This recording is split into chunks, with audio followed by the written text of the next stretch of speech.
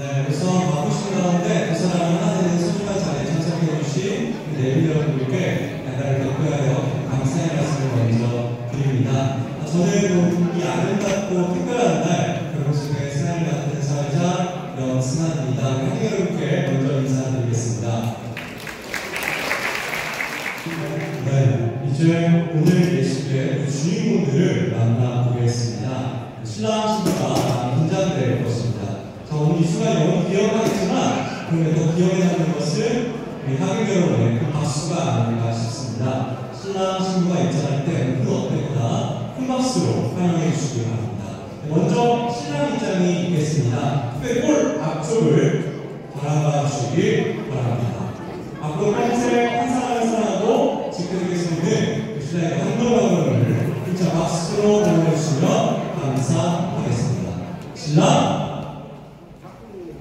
2절